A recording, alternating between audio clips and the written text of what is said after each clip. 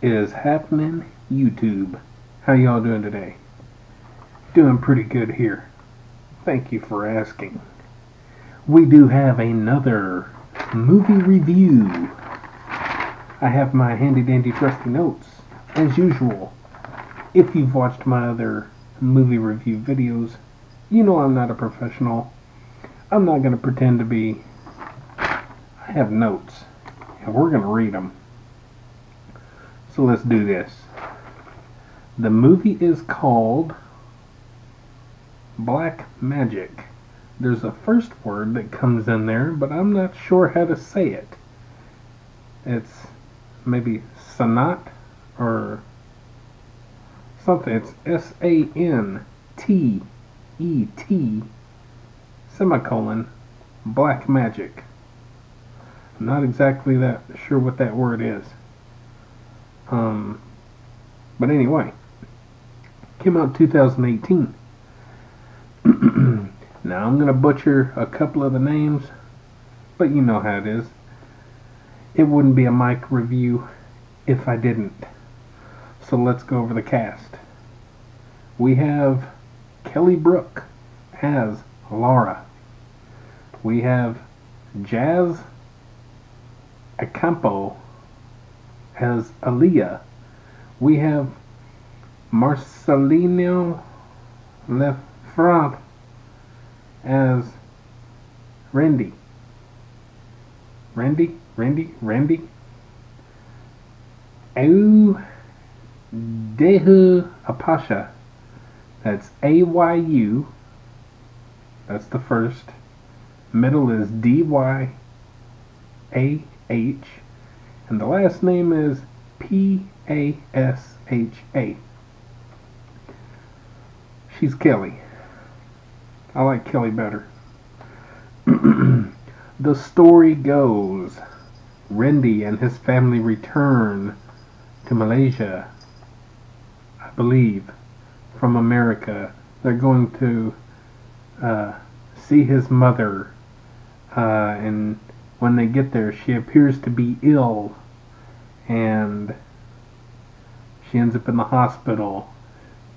Some things happen. It might not be what they think. It very well could be black magic. The blackest of magics. My thoughts, my opinions.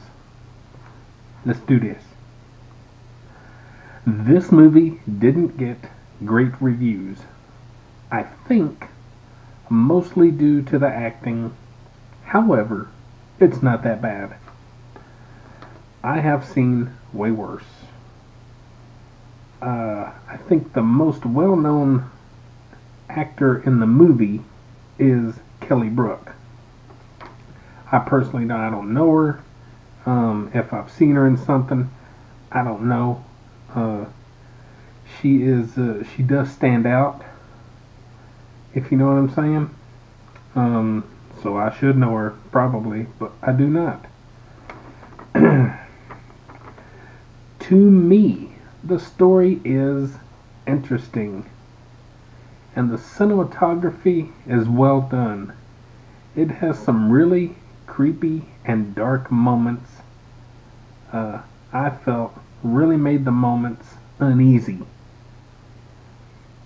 Uh, and a few jump scares here and there for those people who like that. Um, for me, uh, it had it, has some of your typical Asian kind of cinematography and and uh, some of the effects and the the way that the people are uh, person or persons maybe uh, are kind of made up. Um, but there's some real creep effects to it. It, it looks pretty good. Um, it's well done and it's a dark. It's got a lot of dark atmosphere kind of to it in a lot of spots. So that's pretty cool. I like that. The musical score fits the movie uh, and it's well done. Uh, nothing really just stood out to me, and uh, sometimes I think that's good. Uh, we really don't want the music to uh, intrude on the movie. You know, we want to pay attention to the movie. Um, not everything can be well done like Jaws, dun dun dun dun dun, or Halloween, dun dun dun dun, or Indiana Jones, dun dun dun dun. You know, Star Wars, Back to the Future, all those good movies and other movies since Jurassic Park and so on. Sometimes you don't need that. So, you know, it, it had the music in there and throughout the intenseness and stuff, and you'll see, it's it's all well done. Uh, there is enough, in my opinion, to warrant a watch. It's not bad. It's not great. It's okay. There is a lot of women, girls screaming uh, in parts, and it may deafen you. A little bit too much screaming here and there. I mean, I understand things are going on, but a little too much. Maybe I'm just getting sensitive in my old age. Could be. There may be a little twist in the end